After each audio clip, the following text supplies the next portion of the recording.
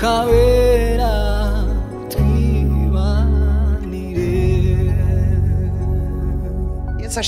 Praise Jesus. So I have the privilege to stand before you again. Uh, it is great joy uh, to hear what God has in His treasures for you. Imana ifite byiza ku bubiko bwayo So God has uh, good things in His uh, treasures. uyu munsi And today, no mu nyigisho no mu ijambo ry'imana and even in the Word of God, naho turatangira insanganyamatsiko nshya we are going to start a new theme. Insanganyamatsiko uyu munsi dutangiye So the theme that you are uh, starting today, hamwe n'abazankurikira bose kwigisha uh, together with others who are going to teach afterwards. tuzavuga ku migani ya yesu So we'll be talking about the parables of Jesus. imigani ya The yesu parables of Jesus. imigani ya The yesu parables of Jesus. imana ishimwe cyane Praise be to God. Yesu yajyaga avuga agaca imigani So Jesus would speak in parables. akavuga ngo umugani w'umutini Uh, for example, the parable of the fig tree umugani w'abararikwa babi and uh, of the bad servants. umusore w'umu- w'umutunzi Uh, the parable of the young rich man. umugani w'umwana w'ikirara The, the parable of the prodigal son. umusamariya mwiza The good Samaritan. yacaga imigani yesu So he would speak through parables. ariko muri iyo migani But among those parables, yabaga abwira wowe nanjye he was speaking to you and I. agaca imigani So he'll speak in parables, ariko ashaka kubwira wowe nanjye but he was speaking to you and I. icyo gihe yabwiraga bariya So he was speaking to those people who were living ariko there. murabizi ijambo ry'imana ntirisaza But as you know, so the, the, the word of God is, iyo dufunguye iyo forever. migani uyu munsi So when we look at the parables today, dusanga ari wowe nanjye abwira we realize that he's speaking to you and I. agahitamo kubivuga mu migani And he would choose to speak through parables. abigishwa be hakaba igihe batabyumva And sometimes his disciples were not able to comprehend baba bari it. bonyine nawe bakavuga ati mwigisha subiramo bya bintu And then when they were together, they would say, Please repeat what you burya mu spoken. bantu benshi twanze kukubaza ariko sobanura neza Then they would say, We didn't want to ask you in the multitude, but please explain even more. yesu ashimwe cyane Praise Jesus indeed. akabasobanurira And then Jesus will kuko explain to yashakaga them ko bahinduka abigishwa because he wanted to transform them into his disciples. natwe rero tugiye kureba imvugo za yesu mu migani We are also going to look at the message of Jesus through parables. ndakwifuriza kuzatega amatwi ngo wumve icyo kristo ariho akwigisha My desire for you is to be attentive and listen to what Jesus is teaching you. ukurikire wumve icyo yabaga akwigisha Follow carefully and understand what he's teaching you yesu ashimwe cyane. Tudatinze rero. Nsomera luka cumi na kabiri. umurongo wa mirongo ine na rimwe kugeza kuri mirongo ine n'umunani. turasoma n'abaheburayo icyenda umurongo makumyabiri na karindwi. Ndabanza mu kinyarwanda mozesi asome mu cyongereza. Dusome mu izina rya yesu. Petero aramubaza ati databuja uwo mugani nitwe twenyine uwuciriye cyangwa n'abantu bose? Umwami yesu aramusubiza ati ninde gisonga gikiranuka cy'ubwenge? Shebuja azasigira abo mu rugo rwe ngo abagerere igerero igihe cyaryo. Hahirwa uwo mugaragu shebuja azaza agasanga ariho abikora. Ndababwira ukuri yuko azamwegurira ibyo afite byose. Ariko uwo mugaragu niyibwira ati databuja aratinze agatangira gukubita abagaragu n'abaja no kurya no kunywa no gusinda. Shebuja w'uwo mugaragu azaza umunsi atamutegereje n'igihe atazi. Azamucamo kabiri amuhanane n'abakiranirwa. Kandi uwo mugaragu wari uzi ibyo shebuja ashaka. Ntiyitegure ngo akore ibyo ashaka. Azakubitwa inkoni nyinshi. Ariko uwari utabizi agakora ibikwiriye kumuhanisha. Azakubitwa nkeya ariko azakubitwa kamemu uwahawe byinshi wese azabazwa byinshi n'uweguriwe byinshi ni we bazarushaho kwaka byinshi imana itugire neza. Reka nsome n'uriya murongo mbe ndangije. Kandi nk'uko abantu bagenewe gupfa rimwe hanyuma yaho hakaza urubanza imana itugire neza So let's read in Luke chapter 12 from verse 41. Then Peter said to him, Lord, do you speak this parable only to us or to all people? And the Lord said, Who then is that faithful and wise steward, who his master will make a ruler over his household, to give them their portion of food in due season? Blessed is the servant who his master will find so doing when he comes. Truly, I say to you that he will make him ruler over all he has. But if that servant says to his heart, My master is delaying uh, his coming, and then begins to, to beat the male and female servants, and to eat and drink and be drunk, the master of that servant will come on a day when he is not looking for him, and at an hour when he is not aware, and will cut him in two and appoint him his portion with the unbelievers. And that servant who knew his master's will and did not prepare himself to do according to his will shall be beaten with many stripes. But he who did not know, yet committed things deserving of stripes, shall be beaten few. For everyone to whom much is given, from him much will be required, and to whom much has been committed, to him they will ask the more. So let's also read in Hebrews chapter 9, verse uh, 27. And as it is appointed for men to die once, but after this, the judgment.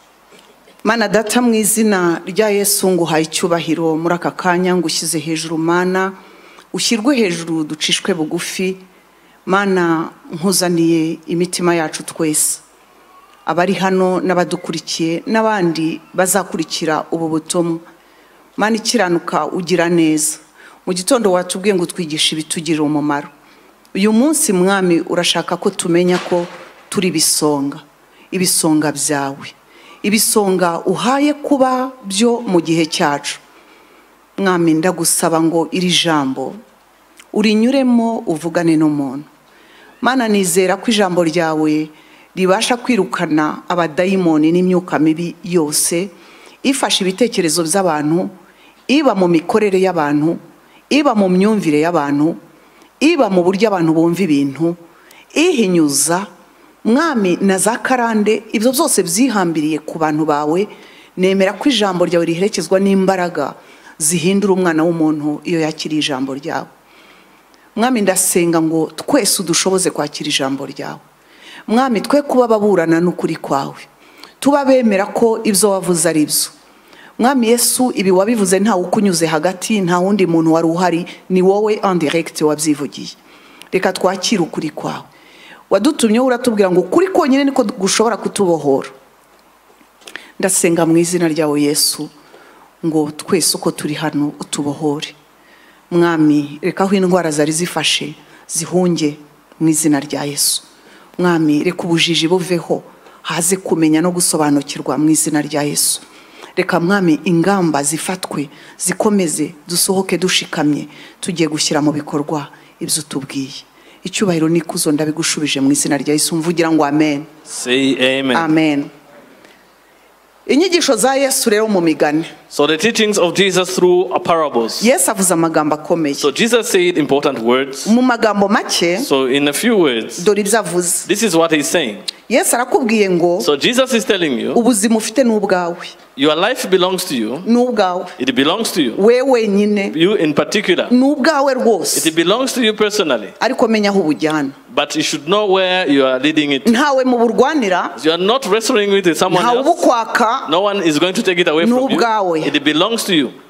ukiriho As you're still alive, bujyana aho ushaka take it wherever you want. ariko uzabibazwa But you'll be held accountable. icya kabiri The second thing, ngo hari ubushake bw'imana ku buzima bwawe there is the will of God upon your life. ni uko ucunga ubuzima bwawe neza So you, you need to, to protect your life. uri igisonga cy'ubuzima bwawe You are the steward of your life. uri umurinzi w'ubuzima bwawe You are the protector of your nta life. wundi muntu ushinzwe ubuzima bwawe wa mbere ni wowe No one else is more accountable to your life than yourself. uwundi ni imana yabuguhaye The one is God who gave it to you. yesu aratubwiye ngo Now, Jesus is telling us shaka uko wamenya ibyo imana igushakaho look to know what what God is expecting from you. shaka shaka uko wamenya icyo imana yagushyiriye ku isi Search to know the reason why God has put you here on Shaka. earth. Search ubimenye so that you understand. nubimenya And once you have understood, ubikore you need to put it into practice. kuko nutabikora Because if you do not put it into practice, aravuze ngo the Bible says uzakubitwa inkoni nyinshi you are going to be beaten so many stripes. kandi And in addition, nutabimenya and when you are not aware of this, uzakubitwa ziringaniye uh, you, you'll be beaten a few. ariko izo zizaba zitewe n'iki But what will be the reason behind? kuko uri ku isi ufite ubushobozi bwo kumenya Because once you are here on earth, you have the ability to know. Eh, ufite n'uburenganzira bwo kumenya And you also have the right to know. kwicara ntumenye Now, when you sit and become yesu akweretse ko eh, si excuse yo kudakora so it's not an excuse of not working according to what Jesus is saying. kumenya So to know, ni ibyawe it concerns you. yesu ashima Praise Jesus. gukoresha So using icyo ari cyo cyose wahawe everything that you have been given, ukiri muri ubu buzima when you are still in this life, yesu arakubwiye ngo ni inshingano yawe Jesus is saying it is your responsibility. uri we Who you are, icyo uri cyo or what you are, ibyo utunze and your possessions. kubikoresha So using them. yesu akwibukije ko ukiri muri uyu buzima ni inshingano yawe So Jesus is reminding you that as you are still alive, it is your responsibility. ntabwo agarukiye aho And he did not even stop arakubwira ngo kuko nyuma yaho uzabibazwa And he's saying beyond that, you'll be held accountable. yesu ashimwe cyane Praise Jesus indeed. irya nyuma So the last yesu arakubwiye ngo So Jesus is telling you ubunebwe ntibwemewe uh, laziness is not acceptable. mpera yesu amashyi Give a hand clap to Jesus.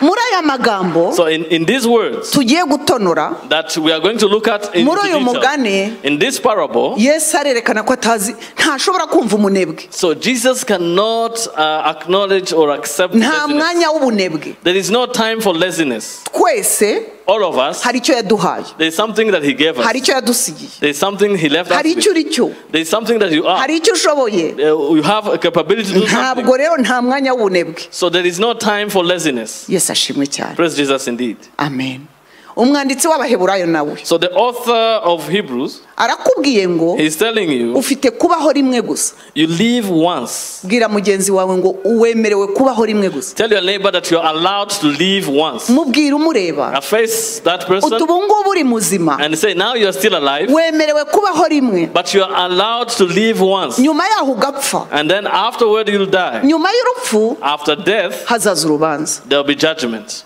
Mwabibonye? Did you see that? kuvuka? So to, to the birth, twese twaravutse. All of us were born, hanyuma tugabaho. And then we live, hakaza ubuzima. And then life comes. nyuma y'ubuzima But now after this life, uzapfa. you'll die. yego ntupfa uyu munsi Of course, you are not dying today, kandi ntugapfa uyu munsi and I don't wish that you die today, ariko uzapfa. But you'll die. nyuma yo gupfa hakaba iki? Now, what happens after death? bwira mugenzi wawe. Tell your neighbor, Aleluia. Umukristo responsable. So for a responsible Christian, umukristu uri responsable a y'ubuzima bwe. responsible Christian of his life, yesu aratwibukije. Jesus is reminding ngo us abaho azi neza yuko ahawe igihe gito. that person is, is supposed to know that he has been given a short time. akwiriye kubaho azi ko ari amahirwe ahawe. And he's supposed to live knowing that it is an opportunity that he has been given. yesu ntabwo avuze ngo igihe uzaba uriho uri umukire. So Jesus is not saying when you'll be living while being rich, yesu ntabwo avuze ngo igihe uzaba uriho ngo uri Uh, oh, when we be living out being beautiful, handsome.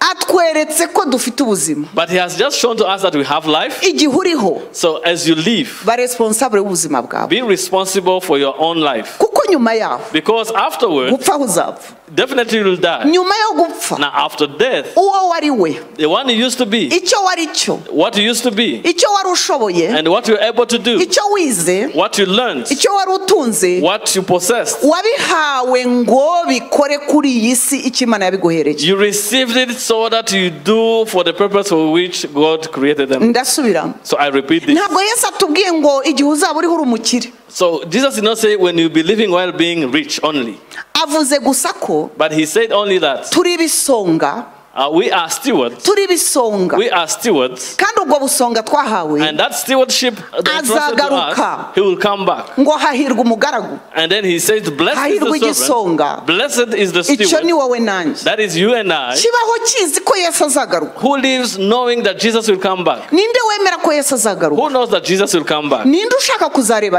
And who wants to see Jesus? tega amatwi So please listen. So uri that- umunyabwenge You are wise. ubaho azi neza ko hari uwo ategereje So a person living knowing that he's waiting for someone. mu magambo omega church tugenderaho So among the words we base on ourselves here, in Omega murabizi Church, ko viziyo yacu ni ugutegura umugeni wa kirisito you know that our vision is to prepare the bride duhagarara of ku Christ. ijambo riri muri u- mu rwandiko rwa yohana wa mbere igice cya gatatu kabiri gatatu So we stand on a word which is written in First John chapter 3. reka ndikubwire nawe mushyitsi So let me tell you who is a ngo visitor. bakundwa ubu turi abana And say, b'imana beloved, now we are children of uko God. tuzasa ntibirerekana And the way you are going to appear has not yet been revealed. But what we know is one. umunsi yerekanywe When he's going to appear, tuzaba dusa nawe we'll be we'll resemble like him. yesu ashimwe Praise Jesus. ufite ibyo byiringiro And who has that hope by'uko yesu azagaruka kumutwara that Jesus will come back to take him? muri ubu buzima ariboneza So he aligns himself in this life. wiringaniza nk'uko uwo nguwo utegereje ameze So you align yourself according to the one you are expecting. ubuzima ufite rero So the life you have therefore, nkunda kuvuga ngo nta piyesi de roshanje bugira I, I like saying it doesn't have spare parts.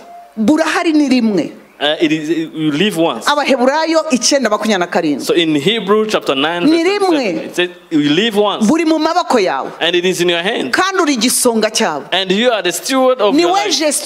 w'ubuzima You are bwawe the manager of your life. wumva ukuntu uri umuntu ukomeye So see how you are a very iyo powerful person. ubupfusha ubusa So when you use it ni ubwawe it is it, it belongs to you. iyo wicara ugatekereza aho bugana But when you sit and see where you're heading ni to, ubwawe it belongs to you. iyo wiyemeza guhindura imyifato yawe When you commit to change your ni behavior, ubwawe it is your life. iyo ubushora mu bintu bidasobanutse So when you lead it in useless things, ni ubwawe it belongs to you. Ariko yesu arakumenyesheje mu migani. Ngo ushatse guhera uyu munsi. umenye neza ko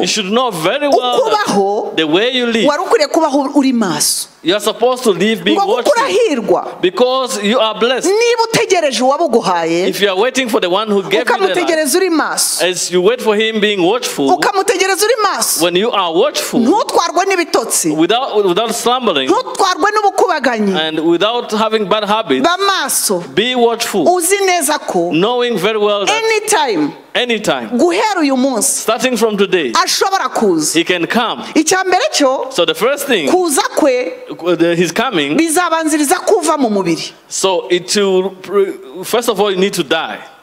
bizabanziriza kupfa Uh, it will come before your death. ni ukuvuga ngo So it means that wowe uriho you, as you are still wowe alive, nanjye you and I, dufite amahirwe ateye we ubwoba have a great. ompera yesu amashyi Give a hand clap Jesus. dufite We amahirwe have a great opportunity. uyu munsi dufite So amahirwe today we have an opportunity yo gufata ubuzima bwacu to take our lives tukabuha icyerekezo cyiza and give them a right mbega direction. inkuru nziza This is a good news. mbega inkuru This is nziza good news. harimo n'amaraso ya yesu rero And we we were also protected by the blood of Jesus. bigakora feri And the blood of Jesus. kuko hamwe n'amaraso ya yesu Because together with the blood of Jesus, utanga ubuzima ufata ubuzima ukabuha icyerekezo you are able to give a good direction to your life. ngo amen Say amen. yesu yarakoze rero So Jesus did an uri amazing work. igisonga cy'ubuzima bwawe So you are the steward of your sinzi life. niba wibuka inkuru y'umwana w'ikirara I don't know if you remember the story of the prodigal umunsi son. umwe yaricaye So one day he sat down areba se and then he looked at his areba father mukuru we and uh, also his brother. asanga ibintu babamo biramurambiye And then he realized that he was uh, fed up with what atako mwampaye ibyanjye And then he said, Why don't you give me my mwampaye share? ibyanjye Why don't you give me my share? ko nawe bwari ubuzima bwe That was his life, isn't it? uriya mugabane wari uwe And even that share he was given uzi to him. atabeshyaga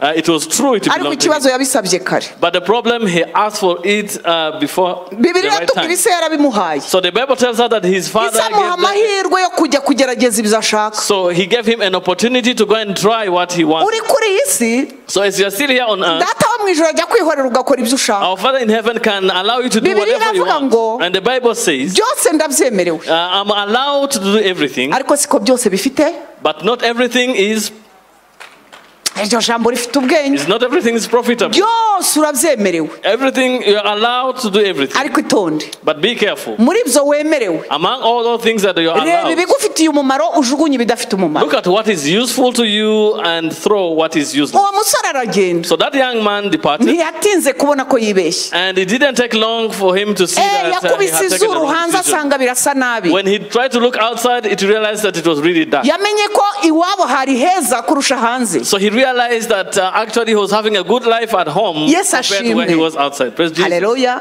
Amen. jya ushima icyo ufite So you need to thank God for what you have. shima icyo ufite Be grateful for what you have. shima icyo ufite Be grateful for what you have. So the life that you have today, that is, that is it. And you need to be grateful. Be grateful for your life. Thank God for the life that you have. areba ibyo ubura So the, the eyes that see what you're lacking, they make you sin. Umwana w'imana. So a child of God urinda neza imibereho ye. who protects his life, arindwa neza he's protected iyo well yishimiye ibyo afite. When he rejoices and great, Akabanza akishimira ibyo afite. when he is grateful first of what he has. ecclesiastes 11 So we're going to read in Ecclesiastes uh, cumi na 11, rimwe. 11, umubwiriza cumi na rimwe. Ecclesiastes 11, karindwi icumi. uh, 7, 10. Tega amatwi wumve So please listen. ufite inshingano ku buzima bwawe. You have a responsibility towards your life. ni ukuri umucyo uranezeza kandi kureba izuba bishimisha amaso. Ni ukuri umuntu unaramo imyaka myinshi akwiriye kuyinezererwamo ingahe? Ariko ntakibagirwe iminsi y'umwijima kuko izaba myinshi. Ibibaho byose ni ubusa. Wa musore we. Ishimira ubusore bwawe. N'umutima wawe ukunezeze mu minsi y'ubuto bwawe. Kandi ujye ugenda mu nzira umutima wawe ushaka no mu mucyo wo mu maso yawe. Ujye ugenda mu nzira umutima wawe ushaka no mu mucyo wo mu maso yawe. Ariko menya yuko ibyo byose bizatuma imana igushyira mu rubanza. Nuko rero ikura umubabaro mu mutima wawe kandi utandukanye umubiri wawe n'ibibi bikube kure kuko ubuto n'ubusore ari ubusa yesu ashimwe cyane So let's read in Ecclesiastes uh, chapter 11 from verse 7. Truly the light is sweet, and it is pleasant for the eyes behold the sun. But if a man lives many years and rejoices in them all, yet let him remember the days of darkness, for there will be many. All that is coming is vanity. Rejoice, O young man, in your youth, and let your heart cheer you in the days of your youth. Walk in the ways of your, your heart and in the sight of your eyes. But know that all this good will bring you into judgment. Therefore, remove sorrow from your heart and put away evil from your flesh, for childhood and youth are vanity. Yesu ashimwe cyane Praise Jesus indeed. ubuzima ufite So the life that you have. babwiye umusore So they are telling the young man. ariko barambwira nabo They are also speaking to all of us. impamvu bavuga umusore The reason why they are mentioning ni umuntu ugifite za ambisiyo nyinshi Because young people they still have so many ambitions. barabwira umuntu wese ufite ibintu byinshi bimuca mu mutwe So they are speaking to someone who has so many things going through their mind akumva byose yabikora and who think they can do everything. bikarangira nta na kimwe akoze And in the end they do nothing. barabwira umuntu So they are speaking to someone wumva ubuzima ari ubwe who thinks the life belongs to him. utegereza ati ndabukoresha icyo nshaka Who's saying I'll do whatever I want with my life. ndanywa izo nshaka I'll drink whatever I want naziguriye because I bought the, it for myself. umugore ndamutwara uko nshaka I will leave my naramukoye wife uh, however I want because I betrothed her. aba bana nibagire gahunda So now these children should have an order. aka kazi karandambiye So I'm fed up with this job ntakagire unyiyenzaho and no one should uh, entice me. na bya bindi byose umuntu yicara akishyiramo ko afite kuvuga ibyo ashaka no gukora ibyo ashaka On all other things where you can say that you can say whatever you want or do whatever you want. ndagira ngo nkubwire But I want to tell you. umubwiriza yaravuze ngo So the Ecclesiastes said, ye bijyana aho ushaka of course, take it wherever you want. ari izo nzoga Being the alcohol ari abo bana or those children ari uwo mugabo ugira utyo or being the hu- husband you are ari treating uwo that mugore way ubwira utyo or the wife you are treating that ari way bagenzi bawe ufata utyo or your fellow that you are treating that ukiri way. muri ubu buzima hoho ndabikubwira As you are still in this life, I'm telling you this. nta gihishwe kitazajya ahabona There is nothing hidden that will not be revealed. umunsi umwe So one day bizajya ahabona it will be in the open. Nkubwira So what? I'm telling is this: kereka udakijijwe unless you are not saved, ako But if you are saved indeed, va mu bibi. so get away from wickedness. va mu bibi. Get away from niba wickedness. yesu yicaye mu mutima wawe. So if Jesus is seated in your heart, yesu ni umucyo. because Jesus is the light, yesu ni umuyobozi. Jesus is the leader, yesu ni inzira. Jesus is the way, yesu ni imbaraga. Jesus is power. ntushobora kubaho uko ushaka. You cannot live anyhow. Ngo nurangiza unamanika amaboko ngo yesu and then raise your hands and give praise No. to Jesus. No, ntabwo bibaho. It doesn't happen that yesu way. arera. Jesus is holy, imana irera God is holy, imana ni imbaraga uh, God is a niyo powerful iguha God, ubushobozi and He's the one who enables you. sigaho guterura ubuzima bwawe ngo ubujyane aho ubonye So stop leading your life whatever you want. sigaho Stop it. nicyo yesu yatubwiye And this is what Jesus was saying to nicyo us. umubwiriza avuze And this is what the Ecclesiastes is saying. salomo ndamukunda I, I, I like Solomon. mujye mwibuka ko ari umuntu wavuze ngo umutima wanjye sinawimye ibiwunezeza Remember that he said that I did not prevent my heart from any ariko arangije pleasure. aratubwira ati tonde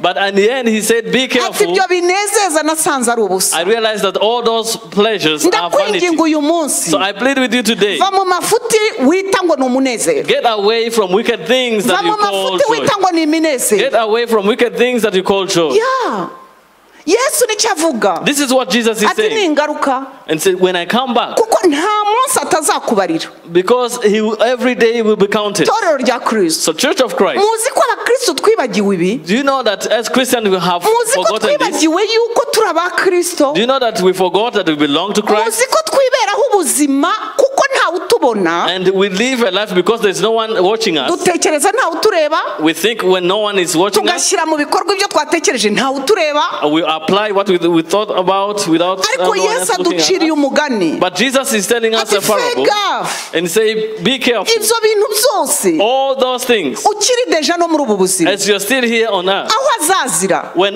when He's going to come back, kimwe ku kindi. One by one, uzavuga yesu wakiriye. First of all, you talk about Jesus that you received. iki Uh, what was His usefulness in yaje your life? kugira ati What did He come to do? Ngo umucyo ni mwiza So the light is good. hari ibintu binezeza And there are things that make people more joyful. The, the sun is wonderful. kuri plage ni heza It is good to be at the beach. kubyina ni It byiza is good to dance. inzoga zitanga akanezero And even uh, alcohol makes people merry. drugs zitanga umunyenga And uh, even even drugs make people ngo zituma wumva nyine udakandagira isi So you feel as if you are not stepping on the earth. ariko ndagira ngo mbabwire. However, I want to tell you, ibyo byose. all those things, uzajya wibwira uti biranshuka. You should remember that they are deceiving you. They are deceiving you. tunganya uyu munsi So put it in order from today. salomo yabwiye abajene And now Solomon told the youth, nimuhitemo aho muhagarara and decide where you are supposed to position yourself. muhitemo Make a choice. ubuzima ni rimwe Uh, you live once, aho hantu bujyana and w- where you are taking it, wagira neza wavayo uyu munsi if you dis- make a de- right decision, you should get away from that way udasigaye ubuzima so that you do not die on that path. Umunyabwenge So a wise person, abara iminsi ye yo kubaho. he, he counts the number of his days. abwira n'imana ati nyigisha kubaho. And he even asks God to teach him how to live and say, enable me to live. ibyo uvuga So what you speak, ibyo utekereza what you think about, ibintu ushyira mu bikorwa what you put into practice. itonde urebe niba biri byo Be careful and check whether it is right. tekereza ushyire ku murongo You need to, to align all those things. mbonye ikintu munsi y'iri juru bene Because there's something I have observed under the heaven. tukiri kuri iyi si As we are still here on earth, ibipfuye byose bizajya ku murongo everything which is not proper will be aligned. ibikorera imana bizashyirwa hejuru And whatever serves the Lord will, will be raised. vuga ngo amen Say amen. yesu ashimwe cyane Praise Jesus indeed. yesu yatwigishije iki muri iriya mugani So what did Jesus teach us in that parable? ufite inshingano ku mahirwe aguca imbere You have a responsibility towards the opportunities that you encounter. ziguca imbere Opportunities that you encounter. amahirwe ufite uyu munsi All the opportunities that you have today. amahirwe ufite uyu munsi Opportunities that you have today. Tekereza ayo ufite So try, to think about all the opportunities ufite you ababyeyi hano hari abandi batabagira Uh, you have parents, there are those who don't have parents. Ya. It's true. ufite abavandimwe hari abatakibagira You have relatives when others do not. ufite akazi hari You abatagafite have a job when others do not. ufite inshuti hari abatazifite You have friends when others do not. Ufite amaboko hari You abatayafite have hands, there are those who do not have hands. ufite ubwenge hari abatabufite You have intelligence, there are those who do not. ufite umugabo hari utamufite You have a husband, there's someone who doesn't have a husband. ufite umugore hari umwifuza wamubuzawijya You have a wife, there's some, a person who is wishing to have a wife. wijya kure hari ibintu byiza ufite uyu munsi Don't go far. There are so many opportunities surrounding you today. kumenya kubaho ubu buzima knowing how to live in this life ni ukubaho utekereza uti mfite iki is living thinking about what you have. mfite iki What do you have? ndagira ngo nkubwire mu izina rya I want to tell you in the name of Jesus. nushaka abaho neza kuko ejo ibyo ufite ushobora kuzaba utabifite You better live well because tomorrow you may not be having what you have today. ibi ndabikubwira I'm telling you this. igihe ufite So the time that you have, igihe kinini ufite the, the ample time that you have, nushaka gikoresha you, you better use it well. kuko ushobora kugera ahantu udafite igihe Because you may reach in a situation where you don't ushobora kugera ahantu cya gihe wapfushije ubusa ucyifuza And you may reach a point where you, you, you, you are not happy because of the time you wasted. tekereza ku gihe ufite Now try to think about the time that you have. tekereza ku gihe ufite Think byonyine about the time that you have. ugikoresha uti How do you use it? ukimarisha iki And what do you use it for? inshuti ufite And friends that you have. influence ufite The influence that you have. Buri kintu dufite Every single thing buri mahirwe dufite Every single opportunity ku mwana w'imana For the child of ni God. ukugira ngo bikorere ubwami It bw'imana serve the kingdom of God. ariko igisonga kibi Now, a bad steward, uzi ukuntu cyajeraga igihe cyacyo na you, do opportunity you know how he managed his ntabwo time? And cyibutse ko opportunity? shebuja azaza that steward did not remember that the master will come back. abagaragu n'abaja Now, beating the servants, bivuga ngo hagati aho igihe ni icyanjye di so it, mean, it means that we are saying, in the meantime, time is mine. ndabwira uwo mbwira I'll speak to whoever I want. ndasubiza uwo I'll respond to whoever I want. ndakurura uwo nkunda I will pull the one I love. uwo ntashaka And I throw away the one I don't want. uko ni ukutamenya ko uzabibazwa That means that you don't know that you'll be held bwira mugenzi accountable. wawe ngo uzabibazwa Tell your neighbor you'll be held accountable. uyu munsi ufite amahirwe yo kwiga So today you have an opportunity to study, abanyeshuri uyu munsi batashye and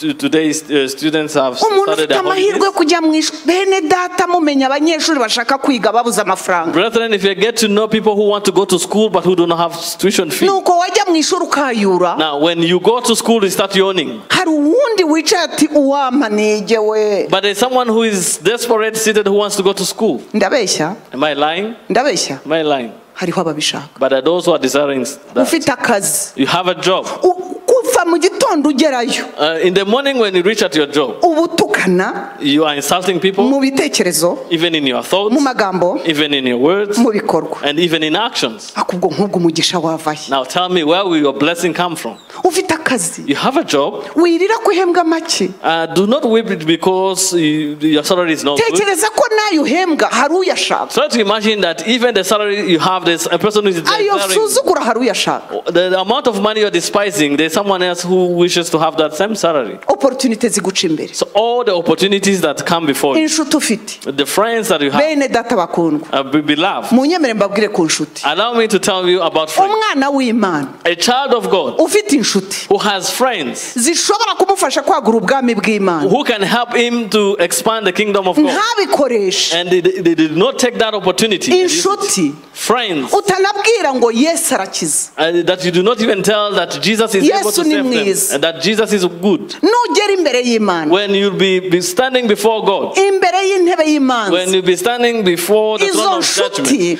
Now, the same friends, izo nshuti. those friends zidakijijwe. who are not saved, zaragendanye nawe. who walked with you, wari uzi yesu uwo ari we mu buzima bwawe. when you knew who Jesus is in your life, imana izabikubaza you'll be held accountable by God. ndabeshya. Am I lying? ndakabije. Uh, am I exaggerating? ni ukuri kw'imana That is the truth from God.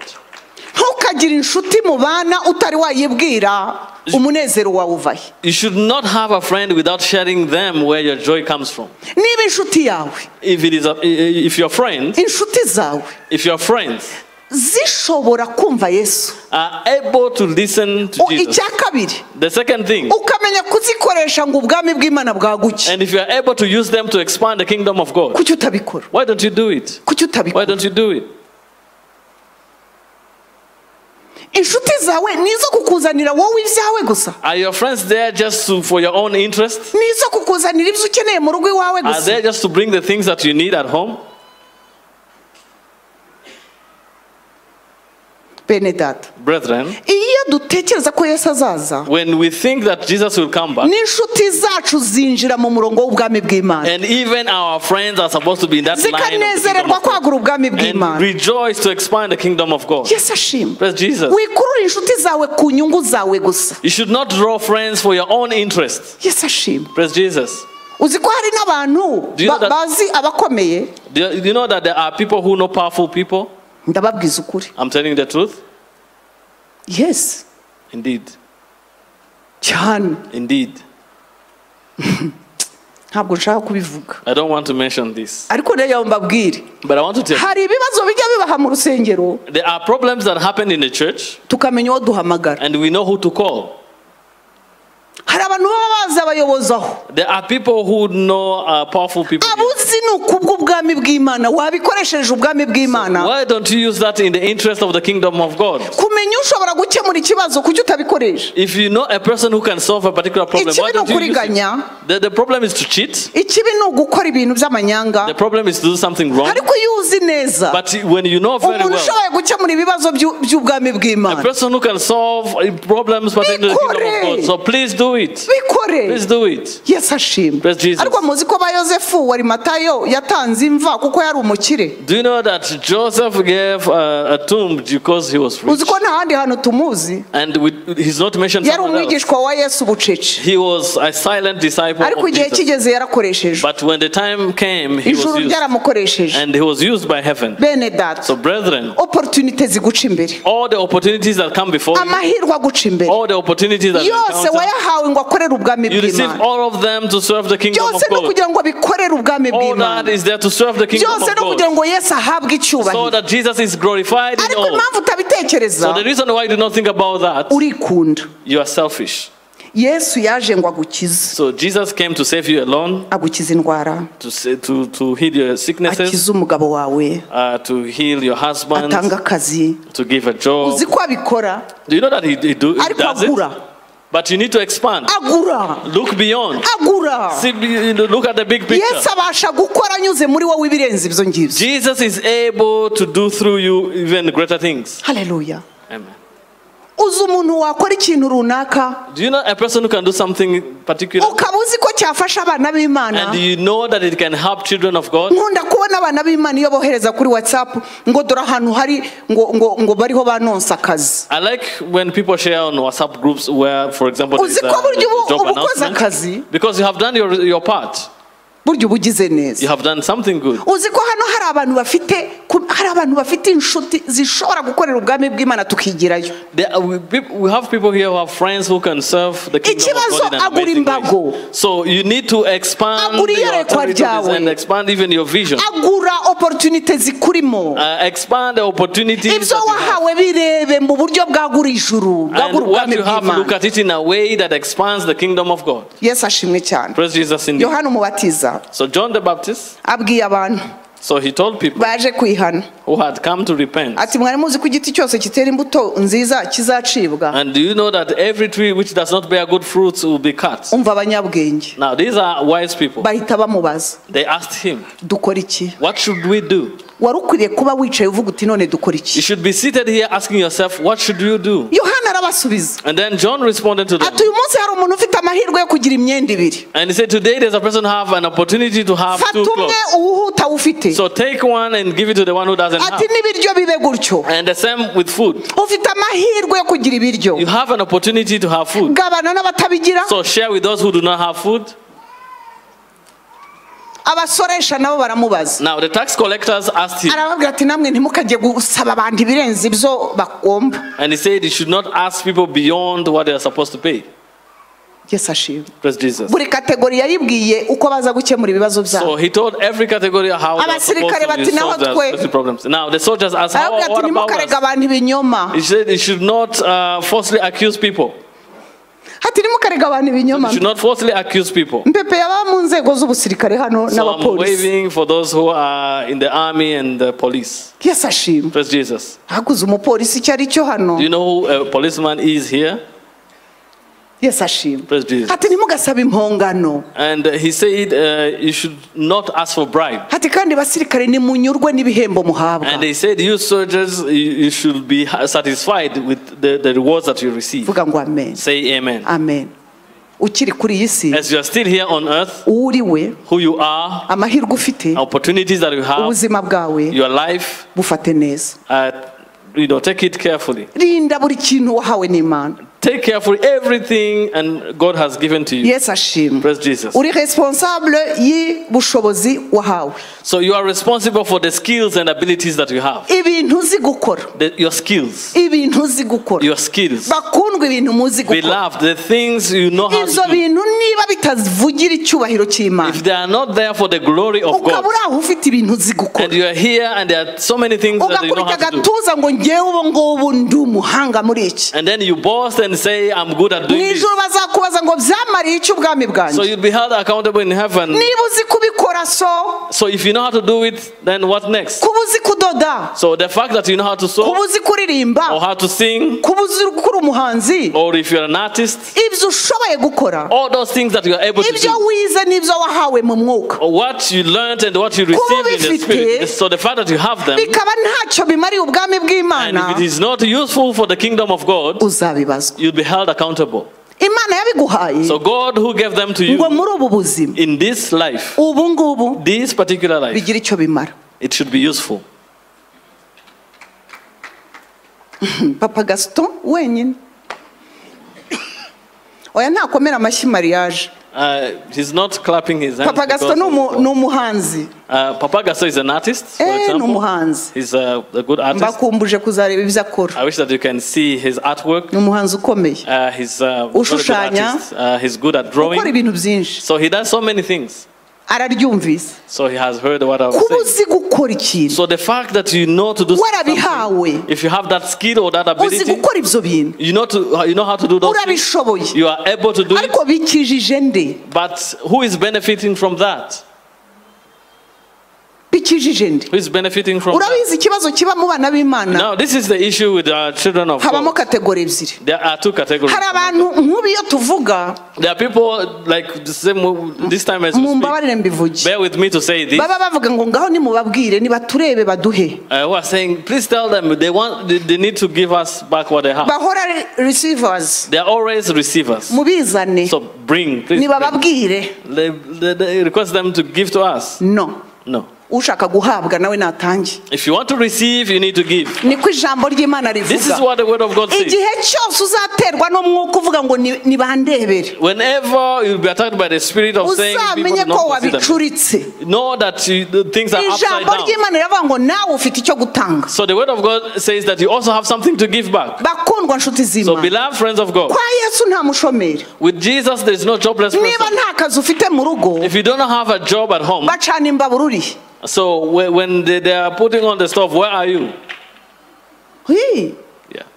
Mbese bagucanira imbabura So they have to put on the stuff for you bakazagutorera ibishyimbo and even prepare beans for you bakagukuburira and even sweep the house for you ahasigaye ukaryama and then you just sleep. noneho ukazaza mu rusengero utari ko mwansengera ko ndi umushomeri And then you come to church and say, pray for me because uri umushomeri uzakomeza uba umushomeri n'imbabura ntunayatsa ubwo You bizagenda bite? continue to be uh, jobless forever because you don't even do household works. Ibi ndababwiza ukuri imana ni uko ireba I'm telling you the truth. This is how God looks at things. kwa yesu nta mushomeri ubaho Uh, with Jesus, there's no jobless person. aho uri Where, where you are, iyo utangiye kuvuga ngo nta kazi ufite when you start saying you don't have a job, tangira utunganya iby'urwo rugo start addressing things uh, your home. Start from your home. kora ibibaho ngaho Do things which, which happens over there. Be useful even at home. bajene The young people. kuba uw'umumaro muzi icyo bivuga Do you know what it means to be useful? ya urabyuka ukubitana na mama wawe? Nuko. You work in the morning colliding with your ngo mother nta shyano nko kugira ngo ube ufite degree. And say it is a pity to have a degree ariko udakora. and without a job. ariko sha brother. Nta kintu kibi nko kugira degree ukaba udafite akazi. there's nothing bad like having a degree degree. idacana imbabura. But you have a degree, but you, can, you can't even cook at home. idashobora guterura ijerikani y'amazi. You can't even fetch water at home. uzi bihera Do you know that it starts from imana there? mu ijuru ireba ibyo God in heaven looks at such details. imana mu ijuru ireba ibyo I'm telling you, God in heaven looks at such details. kwirirwa umuntu azurura umujyi ngo And arashaka then akazi you spend the whole day, you know, moving around in town. saying cyakora hari icyo nkubwira Of course, it's one thing I want to tell you. nukomeza If you continue in that way, uziba you are going to be a thief. No ntabwo ndi umuhanuzi w'ubugome. Uh, ndashaka kubabwira. Ibya mbere utabyemera because you do not accept the basic things, uzabishaka ku ngufu so you'll try uh, your all ways possible to receive whatever, whatever you want. ariko ndakugira inama But I'm giving you an advice. guhera uyu munsi Starting from today, hera aho ngaho start from that basic level. Be useful. kora Uh, grow up as you have been there. n'abahari Uh, partner with those who are there. fatanya n'abahari Help those who are there. wabwirwa n'iki ko batanagukeneye Uh, maybe they need you. You don't know. uzi kugabura buri munsi ugaburira udakora But try to imagine to give food to a person every day who doesn't work. afite iki When they have what? Degree. When that person has a degree. digiri nushaka uyimanike You may hang your degree, ucebure ukubure uh, but humble yourself usase umese and even wash the mama clothes wawe yishimire na papa wawe kuvuga bati ariko ubushomeri bwe bwagize umumaro muri uru rugo so that your parents can rejoice and say, even though you were jobless, at least you were useful. at home." Hallelujah. Amen. Muzi ko ibyo mbabwira ariko no mu rusengero mbibona. Umuntu aricara ati nta mirimo bampaye. Ariko ubu mwese twababonera imirimo. Ariko abanyabwenge bazi kuyishaka. abanyabwenge bazi kwicara bakaba b'umumaro utarinze kumunoma. Murarakaye. Murakara ariko mvuga ukuri Uh, you can be angry, but allow me to tell you that nta wabona imirimo niyo mwarangiza mwese M3 mwarayize nta wabona imirimo yanyu mwese even though you complete the, the, the, the ministry class, you are not able to Ariko have icyo a ushoboye gukora. geography. But whatever you're able to do, niba uzi gusiga irangi if you know how to paint, for example, uzaze nkubwire ahantu usiga irangi come and I'll tell you where you can paint. numbura uzabaze mamagege And if you can't, I don't have that place. I can Harahari, harahari aho. because there is a place where that needs to be painted. niba uzi igipande And if you know how to construct, igipande if you are a mason, ninde uzi gutera igipande who knows how to build a house? urakoze. So thank you, bene data brethren. Ntabwo ari ukugira ngo nkuze itorero no ndashaka kubabwira ngo So I want to tell you, yesu azakubaza ngo wari uzi n'ibi igihe wari utegereje akazi iyo ugenda ukaba ubikorera abandi Jesus will tell you, you knew how to do this. As you were waiting for a job, you would have used it for the interest of others. kuri yesu nta mushomeri So for Jesus, there is no jobless person. uri umurinzi w'ubuzima bwawe So you are the God uri of your own umurinzi life. w'amahirwe You are yawe the God of the opportunities uri umurinzi You are a God. kandi naguhaye ibintu And I have given you possessions. ubikoresha So use them in the meantime. yesu ashimwe cyane Praise Jesus indeed. dukomeze So let's proceed. ubwo bushobozi bwawe So your skills and abilities, wateka whether you can wadoda nsomera samweri wa mbere cumi na gatandatu So I'm going to read in First Samuel. Uh, abongereza 16. namwe murasoma So those who have Bibles in English, read in the nuko meantime. sawuli abwira abagaragu be ati nimunshakire umuntu uzi gucuranga neza mu munzanire uwo muntu yaje kuba nde So who was that skillful? Uh, uwo mucuranzi mwiza ninde who was that skillful person? It yesu was David. dawidi It wari uzi ko dawidi mbere yo kuba umwami Do you know that David, before becoming a ikintu cyitwa inanga ni cyo cyamugejeje ibwami di actually it is the harp that took him to the king's wowe uranga gukoresha icyo wahawe But now you, you are refusing to use what you wabwirwa have. n'iki Well, how comes? wabwirwa n'iki ko nta muntu uzakibona Um, maybe you think that no one will see that. winjiriye ku kantu kamwe But one single thing can give be an ako ngako door. wahawe That that you have been given. What you know how to do. kuki utiporopoza ahantu Why don't you avail yourself to atari work ko somewhere? naba mbaterera You can say, um, I can iron, for example. ariko kugira ngo hari umujene wo Do you know that young men do iron nowadays? Kugira ngo ubure ibiryo But instead of lacking food, wajya ugatera n'ipasi you can even iron. dawidi yaracuranze So in a, now Jesus Bari bamuzi ko ari umucuranzi mwiza. They knew that he was very good at playing the harp. ubu uyu munsi But now today, hari abantu badashobora no kuzamuka hano akavuga ngo nta jwi ngira there are people who cannot even come here and say, I don't have a voice. ariko namenye ko habaho But I know that there are backers. Ababakazi ni abantu ngo bashobora kuririmbira mu ijwi ry'abandi nkanjye So backers are those who can sing behind others like ukaza me. ugahagarara hariya inyuma So you can- hasigaye tukumva ari So you can come and stand here behind and then we, we see the mass choir. ibintu byo kwagura ubwami no kunezeza imana ni byinshi So things pertaining to expansion of the kingdom and to rejoice God are so many.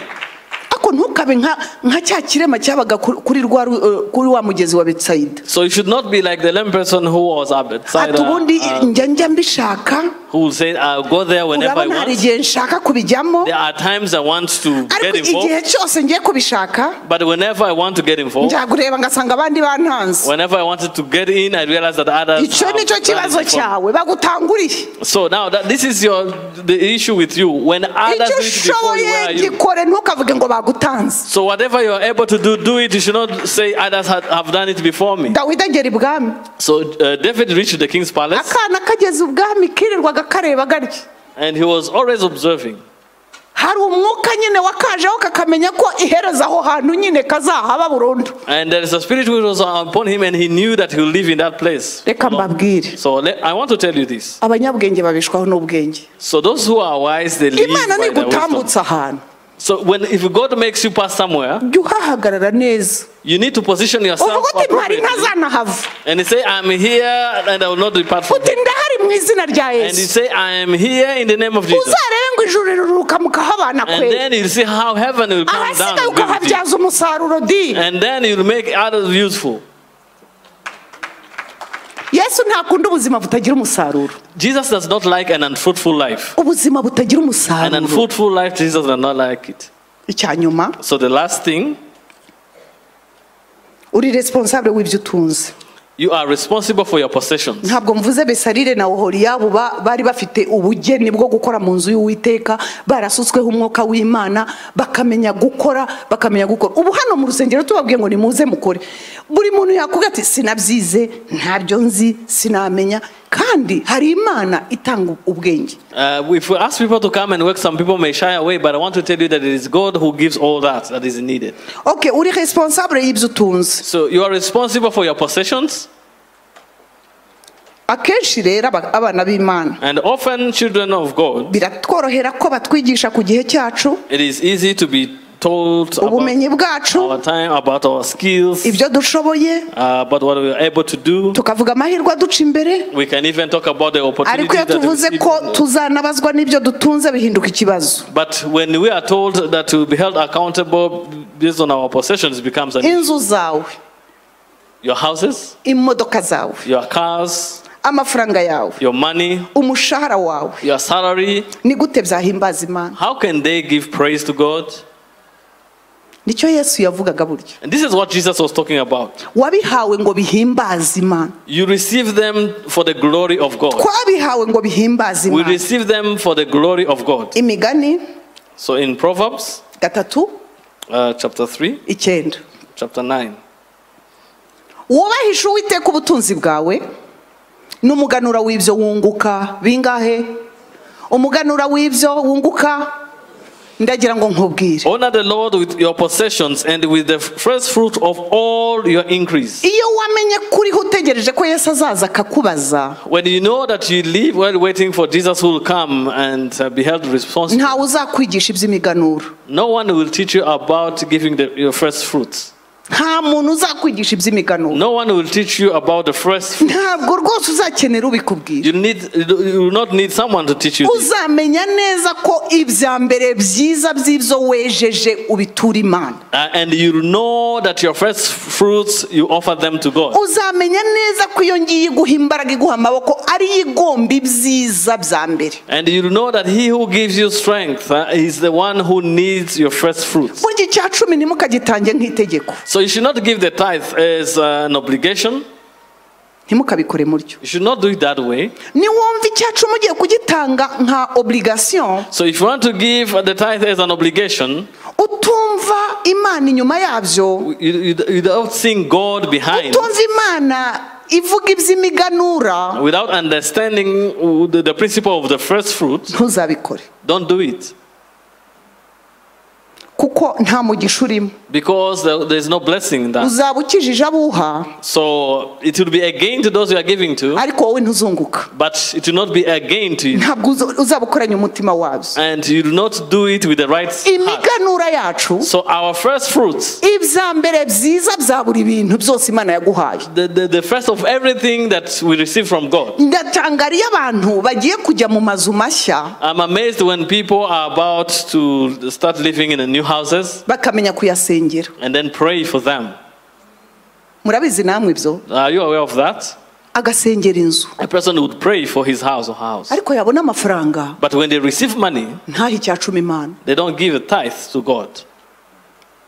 Utanga inzu So he who gives a house, niwe utanga umushahara he's, he's the one who gives Niwe utanga amatungo. and who gives even Niwe utanga and imirima. and who gives niwe fields, ugufasha kweza and who enables you even to have a harvest. ni umwe He's one.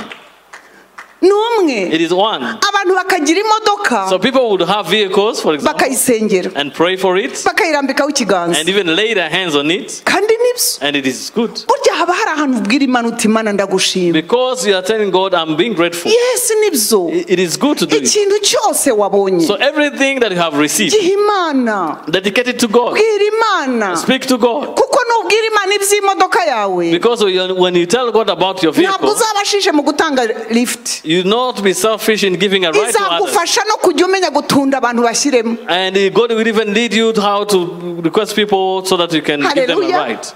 Nubwira imana ngo mana ngushimiye inzu wanyubakiye So when you say, Oh Lord, I thank you for the house you have built for me. uzaba uyibwira uti nemeye yuko uzazanamo n'umuntu ushaka kugira ngo abone icumbi In other words, they're saying, Lord, I allow you to even bring whoever you want so that they can be accommodated here. So give a hand clap to Jesus. Ya.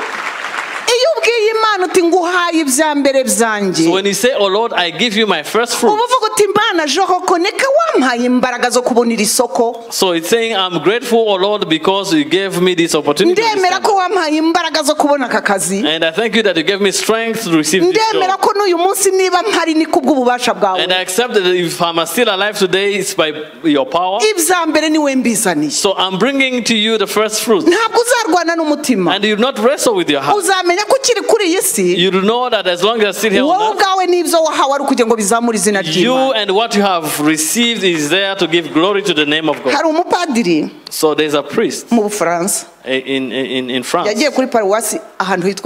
So he went to a parish called Lyon. Agiyeyo So when he went there, ahagera akererewe so he was late. aroye hanze So when he looked out ngo outside, abona amamodoka menshi and cyane then he saw so many vehicles. murabizi ko bagira umutwaro w'abakene And you know they have a burden for people who are poor. baravuga ngo oh nguzi ko ahantu hantu nta bahari And then he was amazed. He said that there are no poor people here. arinjiye So he entered. basomye misa So they started their mass. bararangije So at the end, agiye kureba amaturo so when he was going to look at the offering, oh ngo ko nta mukiri uhari and they said, actually, there are no rich people here. ntabwo mubyumvise You didn't understand. abonye amamodoka. When he looked at the vehicles, yariyo yose ngo hafi ya yose. uh, all, all the vehicles that were there, ngo yaravuze ngo uzi ko hano nta mukene uhari? and he said, there is no poor, there are no poor persons here. kuko Just because he saw many vehicles. noneho bararangije na padiri wasomye misa So now, after the end of their service, amaturo araje so when they received the abonye offering, ibikoroto gusa and he saw only coins, ngo oh uzi ko burya nta mukire uri hano They said, actually, there are no rich people here. Bene data bakundwa. Uwo uri we you are icyo uri cyo you are ibyo utunze. igihe cyawe. ibyo wize. you tekereza neza ukuntu bishobora kuzamura icyubahiro cy'imana. Uri responsable w'ibyo umaze kwigishwa. And you're also responsible for what you- you've just been taught. ibyo umaze kubwirwa. What you've just been taught right now. ufite inshingano yo kubirinda. You have a responsibility Kuri iyi tariki. On this particular cumi na date kane of 14th z'ukwa karindwi July cumi n'icyenda 2019, byagiye mu matwi yawe now you have heard this in your ears. imana izakubwira ngo warabyumvise. And you'll be held accountable by God. matayo So in Matthew, kane yarabivuze. Matthew, yarabivuze mariko pardon. Uh, Mark rather, ngo ufite amatwi yumva niyumve. Arababwira ati muzirikane ibyo mwumva. Urugero mugeramo nirwo muzagererwamo. Kandi muzarushirizwaho kuko ufite azahabwa kandi udafite azakwa n'icyo yari afite ibyo wumva byitondere. So take heed of what you hear. Ufite inshingano yo kurinda ibyo wumva And you have responsibility Uyu munsi urize. So today you have learned. nawe uzavuge ngo ntiwize You should not say that you did not learn. ntuzitwaze kuvuga ngo sinamenye You should not use an excuse and say, umunyabwenge know. ashaka kumenya ubushake A bwiwe wise person has the zeal to know the will of God. bibiliya irambwira muri yakobo ngo ubuze ubwenge nabusabe And the Bible tells me in James, whoever lacks wisdom, please ask for it. Have the zeal to know the reason why God has put you on itonde umwami yesu atazagaruka kugutwara agasanga uvutagura abo yaguhaye. Be careful so that when the, the Lord will come to take you back, He finds you beating those. abo yaguhaye ninde? Ni umubiri wawe. So He entrusted you with your body. uwutwaye ute? How are you handling your body? igihe yaguhaye. So the time He has given to you, ugikoresha how do you use your time? ubwenge yaguhaye. So the intelligence or wisdom or knowledge has given, how do you use them? ubutunzi yaguhaye. Your possessions you receive Bikora bite? how do you use them? inshuti ufite? Friends that you have, ibyo ufite? Your possessions, amahirwe ufite? Opportunities that you have, bite izina rya how do yesu they raise the name of Jesus? urakomeye So you are powerful. uri umuntu ukomeye You are a powerful person. ashima Praise Jesus. pawulo aravuga ati So Paul says, natwe icyo dusabwa what we are uh, asked ni to uko do tuba ibisonga byiza is to be good stewards. inyigisho yanjye So my teaching, yitwaga ngo uh, this was the the, tube topic. ibisonga byiza Let us be good stewards mu gihe cyacu in our time. Mu gihe cyacu In our time. tube ibisonga byiza Let us be good stewards. ngiye kugusaba So I'm going to ask you ku byo wumvise to meditate on what have just Ubusonga bwawe. So your stewardship. ubuzima bwawe butwaye ute How are you handling your life? ese buheshwa imana icyubahiro Is it giving glory to God?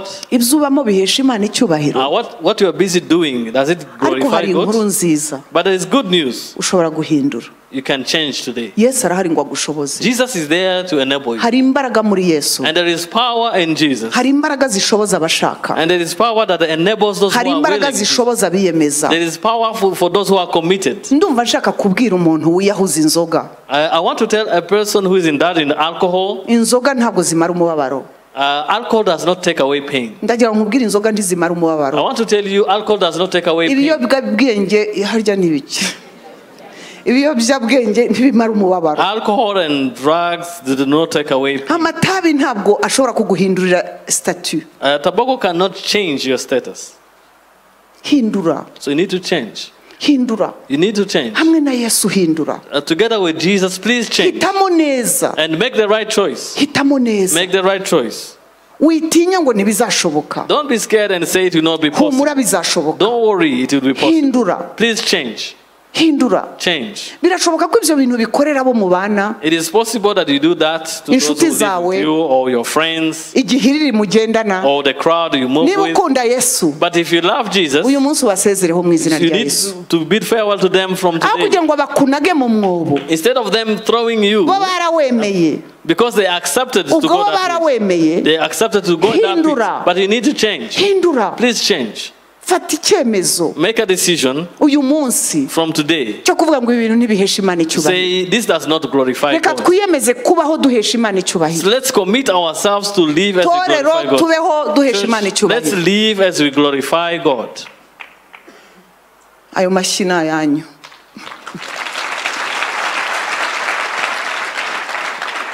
inkuru nziza mbafitiye ni uko ibihe tugezemo So the good news I have to you to for you is that the times you are in ni iby'intwarane. Uh, times for heroes.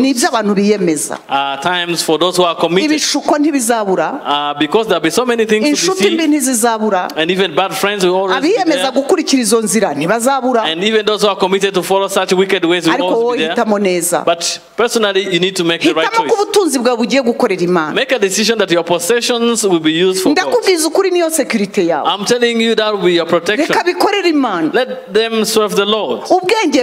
Your intelligence ushoboye what you are able to do, reka bikorere imana. let them serve God. kandi wishimire amahirwe ufite mu buzima. And also rejoice for the opportunities you have nimwiyicarire aho muri mbasengere. So let's, uh, we're going to pray for you. umuntu utari wahamagara uwo yesu kirisito waduhaye imibereho. If you have not yet called upon Jesus in your life, Akaba ari hano. and you are with us, akaba atarahamagara yesu. and have not yet called upon kuko Jesus, yesu niwe uduha icyerekezo. because it is Jesus who gives us the atubabarira direction. ibyaha n'ibicumuro byacu. He forgives our sins and our iniquities, sansi ubuzima and bwacu. He gives the right direction to our life. ntagarukira aho And He does not even stop from aduha there. imbaraga zo guhindura umuntu tudashaka. And He also gives us power to change. uhari nagira atya gusa? Ndagusaba ugume aho wibereye ariko ugira utya gusa? If you are here and you want to receive Jesus, just raise your hands yesu where aguha you are. umugisha ndakubonye. May Jesus bless you. yesu aguha umugisha ndakubonye. Nawe ndakubonye.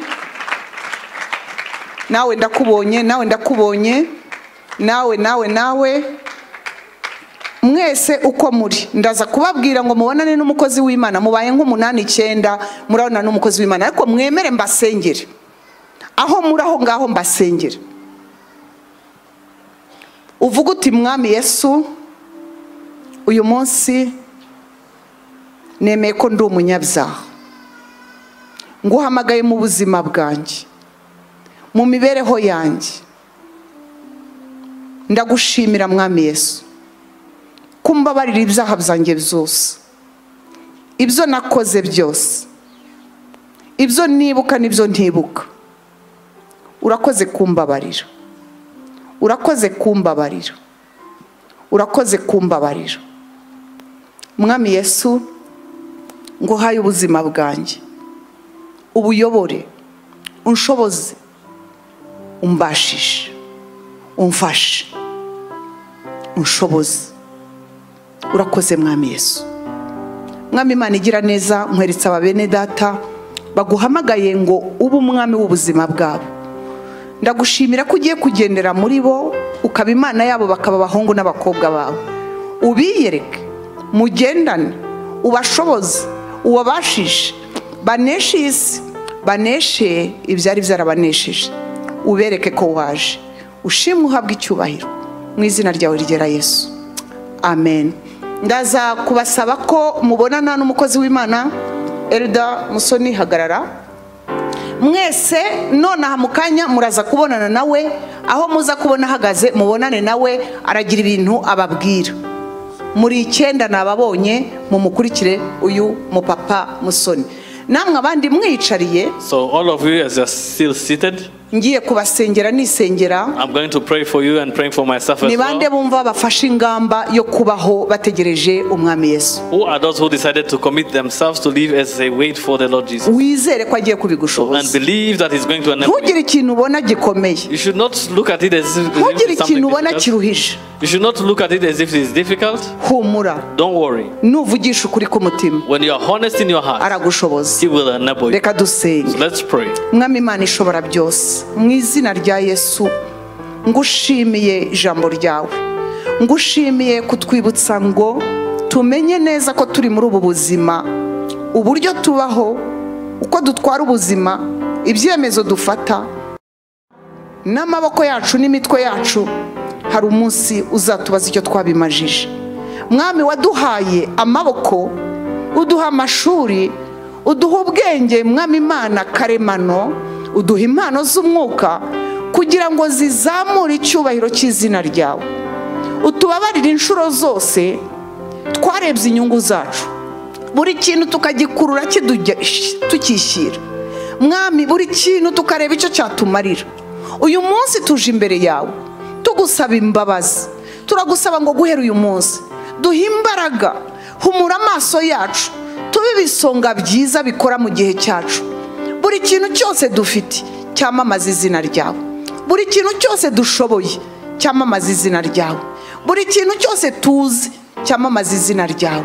Ibyo uduha kumenya byamamaza izina ryawe. Ijambo ryawe ryatubwiye ngo hahirwa umugaragu uzasanga yari ariho akora. Iwawe uratubwiye ngo nta munebwe ubayo nta mushomeri ubayo. Mwami imana n'udafite akazi aba ariho akoresha impano ze. Mwami dukize kwicara dukize kwicara turebera abakora. Dukize kwicara dutegereje abaza kudukorera. Dukize kwicara dutegereje abaza kuduha. Dufashe duhaguruke dukoreshe ibyo waduhaye. Kuko kuri urya munsi uzabitubaza. Turinde kuzakubitwa inkoni. Z'uko twumvise ntidushake kumvira. Duhe kumva twumvire. Mwami tuba abana obeyisan twakire ijambo ryawe. Tumenye ko uduhaye ubuzima bumwe bumwe gusa kandi tugomba kubyaza umusaruro. Ndasengera umuntu wese wumvise iri jambo ngo ubuzima bwe abugire ubw'inyungu ku bwawe. Bubyara umusaruro.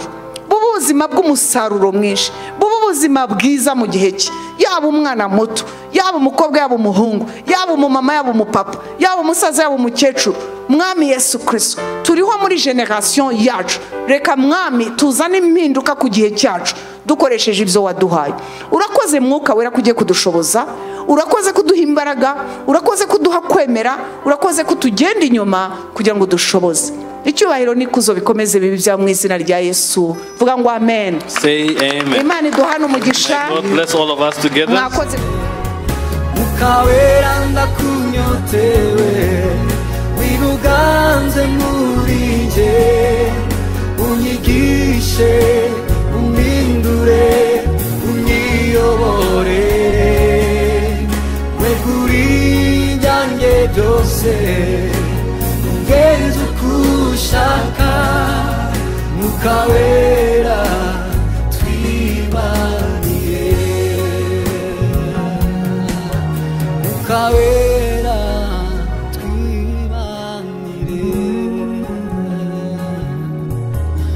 cabeza.